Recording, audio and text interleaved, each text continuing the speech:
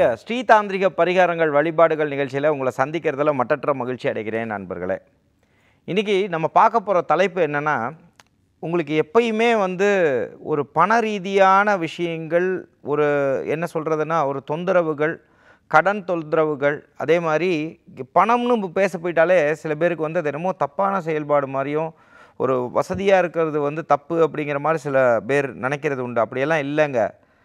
பொருள் இல்லாதற்கு உலகம் இல்லை. அதாவது அந்த ஞான ரீதியாக சொன்னவங்கள பொருள்னு சொன்னது உடம்பை சொன்னாங்க. நான் சொல்கிறது வந்து பணத்தை சொல்கிறேன் சரிங்களா? ஏன்னா நீங்கள் என்ன தான் இருந்தாலும் பணம் இன்றைக்கி இன்றியமையாத தேவை. இந்த பணத்துக்காக தான் நம்ம இவ்வளோ கஷ்டப்படுறோம். இப்போ நான் பேசிகிட்டு இருக்கேனாலும் பணத்துக்காக தான் கஷ்டப்படுறோம். எல்லாருமே இதெல்லாம் வந்து பணங்கிறத வந்து ஒரு தப்பாக நினைக்காதீங்க. இப்போ பணம்ங்கிறது அது கண்டிப்பாக வேணும். அப்போ அந்த பண விஷயங்கள் வேணும் அப்படிங்கும்பொழுது அந்த தாந்திரிக ரீதியான விஷயங்கள் பண்ண பண்ண பணத்தை நோக்கியே நம்ம ஏன் நிறைய நிகழ்ச்சிகள் போடுறோம்னு நிறைய பேர் கேட்குறீங்க. பணம் வேணுமே அவ்வளோ பணம் தேவைப்படுது. ஸோ அதனால் இதில் வந்து நீங்கள் செஞ்சுக்க வேண்டியது வந்து துளசி தாந்திரிகம்னு பேருங்க. இந்த துளசி தாந்திரிகத்தை வந்து ஒரு ரெண்டு வகையாக பண்ணலாம். இந்த ரெண்டு வகையான விஷயங்களையும் உங்களுக்கு நான் கற்றுக் கொடுத்துட்றேன் சரிங்களா? ஃபஸ்ட்டு விஷயம் என்னன்னு கேட்டிங்கன்னா வீட்டில் துளசி செடி இருந்தது அப்படின்னா ரொம்ப அதி உத்தமம். சரிங்களா? அந்த துளசி செடி இருக்கிறத வந்து நீங்கள் என்ன செய்யுங்கன்னா அந்த இலையை வந்து நீங்கள் செய்ய வேண்டியது பௌர்ணமி அமாவாசை அஷ்டமி பஞ்சமி. இந்த திதிகளில் போயிட்டு அதை நகத்தை வச்சு எடுக்காமல் இந்த விரலால் எடுக்கும் பொழுது ஓம் சிவ சிவ ஓம். சிவம் காக்கும் சிவம் வெல்லும் சிவம் காக்கும் சிவம் வெல்லும். என்னடா துளசி எடுக்கும்போது போய் சிவம் காக்கும் சிவம் வெல்லும் சொல்கிறானேன்னா ஹரியும் ஹரனும் ஒன்றுங்க இது வந்து துளசிங்கிறது ஒரு மூலிகை சரிங்களா? அந்த மூலிகைகளுக்கு வந்து வரும்பொழுது அந்த மூலிகைகளுக்கு சாபம் வரும் அதனால் சில விஷயங்கள் வரும். அந்த கர்மத்தை அழிக்கக்கூடிய சக்தி சிவபெருமானுக்கு மட்டுமே உண்டு. அதனால தான் சித்த மகாபுருஷர்கள் எல்லாருமே பார்த்திங்கன்னா சிவனோட திருவுருவப்படத்தையும் லிங்கத்தையும் வச்சே தான் பார்த்தீங்கன்னா அந்த பதினெட்டு சித்தர்கள் சிவனை நோக்கியே தான் இருப்பாங்க. அதனால அந்த சாப நிவர்த்தி கொடுக்கக்கூடிய சக்தி சிவனுக்கு தான் உண்டு. ஸோ அந்த துளசியை எடுத்துகிட்டு அதை ஒரு மூலிகையாக பார்க்கணும். அந்த மூலிகையை எடுத்துகிட்டு நீங்கள் செய்ய வேண்டிய விஷயம் என்னென்னா அதை வந்து நிறைய எடுங்க. நிறைய துளசி இருந்ததுன்னா நிறைய துளசி எடுத்து வச்சுருங்க. துளசியை எடுத்து வச்சுட்டு அதை வந்து நீங்கள் போய் அதை சுவாமிக்கிட்ட எடுத்து வச்சுட்டு அதுக்கப்புறமா அதுக்கு வந்து ஒரு நெய்வேத்தியம் போடுங்க. எதுக்கு? ஒரு துளசி இலைக்கு எதுக்குடா நெய்வேத்தியம்னு நினைக்காதீங்க. ஒரு ஸ்வீட்டு எடுத்துகிட்டு அந்த ஸ்வீட்டை வந்து நல்லா நெய்வேத்தியம் பண்ணிவிட்டு துளசி தேவிக்கு அதை படைச்சிட்டு அதுக்கப்புறம் அந்த துளசியை வந்து காய போடுங்க. காய போடும் பொழுது இ- உலர்ந்த இடத்துல காய வைங்க. காய வச்சுட்டு இது இல்லைங்க நான் அப்பார்ட்மெண்ட்டில் இருக்கேங்க எங்கெங்க காய வைக்கலாம்? காய வைக்கணும்னு மனசு இருந்தால் கண்டிப்பாக மார்க்கம் உண்டு. ஒரு ஓரமாக வச்சு காய வைங்க.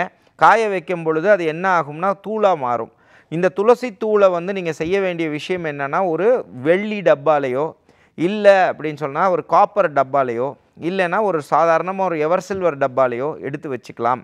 இதை நீங்கள் எடுத்து வச்சுட்டு நீங்கள் அதை சுவாமிக்கிட்ட நீங்கள் வச்சிடணும். இந்த சுவாமிக்கிட்ட வச்சுட்டு நீங்கள் என்ன செய்யலாம் அப்படின்னா தினந்தோறும் நீங்கள் செய்ய வேண்டியது இதை நீங்கள் உள்ளே போட்டுக்கும் போது வாயில் போட்டுக்கும்போது ஓம் நமோ நாராயணம் தேவம் சங்கு சக்கர கதாதரம் பக்தானாம் இஷ்டதாதாரம் சர்வமங்கள காரகம் அப்படின்னு சொல்லிட்டு நாராயண சுவாமி அஸ்வத்த நாராயண சுவாமியை மனசார நினச்சிட்டு இந்த சு துளசியை நீங்கள் பொடிச்சு வச்ச துளசியை வந்து உட்கொள்ளலாம். இதை உட்கொள்ளும் பொழுது நீங்கள் என்ன எதோட சேர்த்து இன்னும் உட்கொள்ளலாம்னா தேனை எடுத்து சரிங்களா? தேன் வந்து ஆக்சுவலி வந்து கெட்டது கிடையாதுங்க. சில பேர் எனக்கு சுகர் இருக்குங்கிறாங்க. சுகருக்கும் தேனுக்கும் சம்மந்தமே இல்லை. வெளியே பார்க்க தேன் வந்து இனிக்கிற மாதிரி இருக்கும். வாய்க்குள்ளே போகும்போது பார்த்திங்கன்னா அது கசப்பு தன்மையை கொடுக்கும். சரிங்களா? அதனால சுகர் இருக்குன்னெலாம் பயப்படாதீங்க. தேன் சா தாராளமாக சாப்பிட்லாம். அதனால் சுத்தமான தேன் வாங்கிக்கோங்க. அந்த தேனில் கலந்தும் நீங்கள் இந்த மந்திரத்தை சொல்லிவிட்டு இந்த பொடியை எடுத்து நீங்கள் அப்ளை பண்ணி சாப்பிட்டுக்கலாம். சாப்பிடும் பொழுது அதுக்கு முன்னாடி நீங்கள் சொல்ல வேண்டிய மந்திரத்தையும் சொல்லிட்டேன். இது ஒரு மெத்தட் இதை பண்ணிக்கோங்க. இது உட்கொள்ளக்கூடிய மெத்தட் இது நீங்கள் பண்ணும் பொழுது இது இதையும் செஞ்சுட்டு இப்போ நான் அடுத்த விஷயத்தையும் சொல்லித்தரேன். இதில் என்ன பண்ணுங்கள் நீங்கள் குளிக்க போகிறதுக்கு முன்னாடி இதை வந்து ஒரு இருபது துளசி இலை எடுத்துக்கோங்க. வெறும் இருபது துளசி இலை உங்கள் வீட்டில் இருக்கக்கூடிய இலையை எடுத்துக்கோங்க.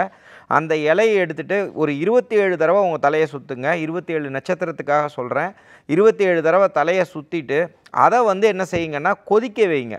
கொதிக்க வச்சுட்டு ஒரு தண்ணியில் போட்டு கொதிக்க வச்சுட்டு இதை வந்து நீங்கள் என்ன செய்யணும்னா உங்கள் குளிக்கக்கூடிய தண்ணீரில் இதை கலந்து விடுங்கள்.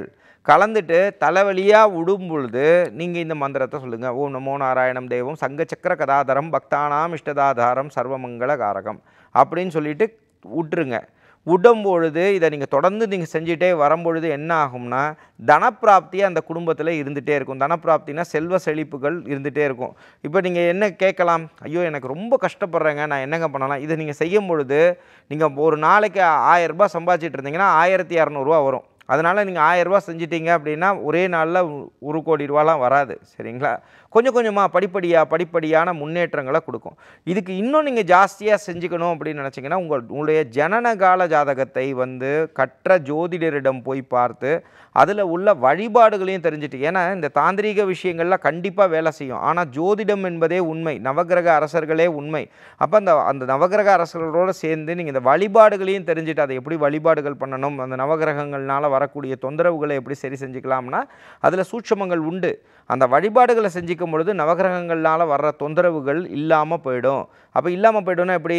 ஒரு கல் வந்து உழுவுறதுக்கு பதிலாக ஒரு சின்ன காற்றுல எச்சம் வந்து உழுவுற மாதிரியும் ஒரு லாரி வந்து இடிக்கிறதுக்கு பதிலாக ஒரு சைக்கிள் வந்து அடிக்கும். கர்மா மாறாது பட் அந்த தாக்கங்கள் குறையும். ஒருவேளை நல்லா இருந்தது அப்படின்னா அந்த ஜாதகப்படி நல்ல டயத்தில் இருந்ததுன்னா அந்த வழிபாடையும் சேர்த்து செஞ்சு இந்த தாந்திரிக பிரயோகமும் பண்ணும் பொழுது உங்களுக்கு ஒரு பத்து கோடி ரூபா கிடைக்கணும்ன்றதுனா நூறு கோடி ரூபா கிடைக்கும். இது எல்லாமே என் கோடியிலே பேசுகிறோம் அப்படின்னு தயவு நினச்சிக்காதீங்க. நிறைய உயர்வாக பேசுவோமேன்றதுக்காக நான் சொல்கிறேன் சரிங்களா?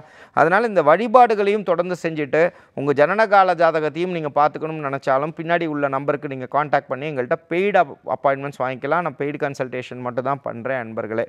இந்த மாதிரி விஷயங்களை நீங்கள் தொடர்ந்து செஞ்சுட்டு வாங்க.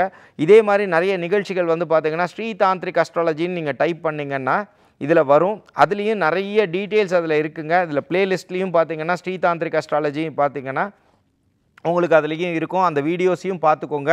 உங்களுக்கு என்னென்ன தேவையோ எல்லா டீட்டெயில்ஸும் அதில் நான் கொடுத்துருக்கேன். அதோடு சேர்த்து ஜாதகத்தையும் பார்த்து பார்த்துட்டு வாழ்க்கையில் வளமோட வாழ்கிறதுக்கு என்னுடைய மனப்பூர்வமான வாழ்த்துக்கள். நாளைக்கு மற்றும் ஒரு தாந்திரிக பிரயோகத்துடன் உங்களை சந்திக்கும் வரை உங்களிடமிருந்து விடைபெறுவது உங்கள் விஜய் சேது நாராயணன். நன்றி வணக்கம்.